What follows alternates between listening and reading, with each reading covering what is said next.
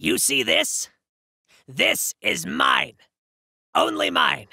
I see what you fuckers are doing online. None of you are allowed to have him. You leave him to me to take care of. He doesn't need your support.